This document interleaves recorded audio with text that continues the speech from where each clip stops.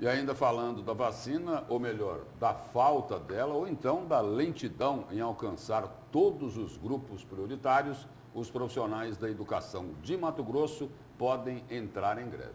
Pois é, Lúcio, a ameaça de paralisação será mantida caso a Secretaria Estadual de Educação exija a retomada das aulas presenciais. A repórter Nayana Bricá conversou com o presidente do Sintep e explica quais são as reivindicações da categoria. O Sintep Mato Grosso deve realizar na próxima sexta-feira uma nova assembleia com todos os servidores para definir esse indicativo de greve. O Valdeir Pereira, que é presidente da entidade, está com a gente. Valdeir, o que vocês esperam discutir nisso, nessa assembleia que será realizada na próxima sexta-feira? Nós é, pretendemos fazer essa discussão do decreto 333, uma portaria, na realidade, do governo do estado de Mato Grosso, que definiu que desde essa segunda-feira é para os trabalhadores cumprirem a jornada de trabalho no âmbito das escolas.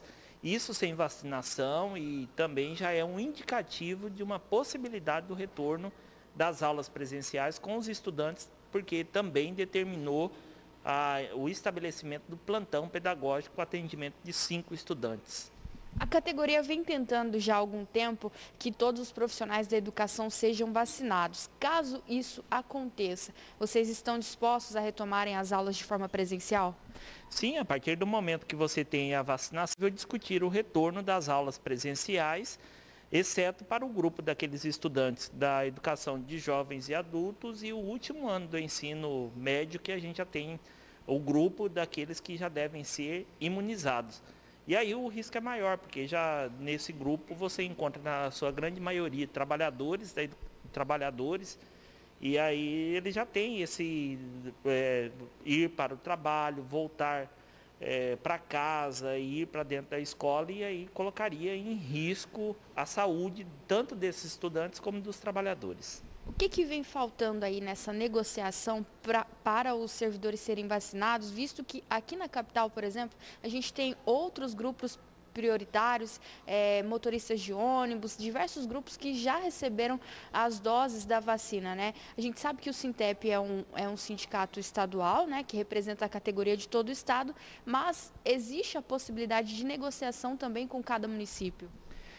É, nesse caso aqui, a autorização, na sua grande maioria, depende do governo do estado de Mato Grosso. Ele até fez uma solicitação, mas depois disso só divulgou na imprensa, mas não deu nenhum retorno efetivo, que seria é, 10% das vacinas que chegassem no estado de Mato Grosso serem destinadas para os trabalhadores da educação. Mas isso foi apenas um, um anúncio que o governo fez nas redes sociais, mas não se concretizou efetivamente. A gente está com esse problema de não ter a vacina, né? Porque se nós tivéssemos a vacina em larga, larga escala aqui no estado de Mato Grosso, que é um dos últimos quando você olha a questão da aplicação da vacina, nós já estaríamos num patamar de maior tranquilidade. Caso o indicativo de greve seja definido nessa assembleia que acontece na próxima sexta, vocês então deflagram essa greve já a partir da próxima segunda-feira?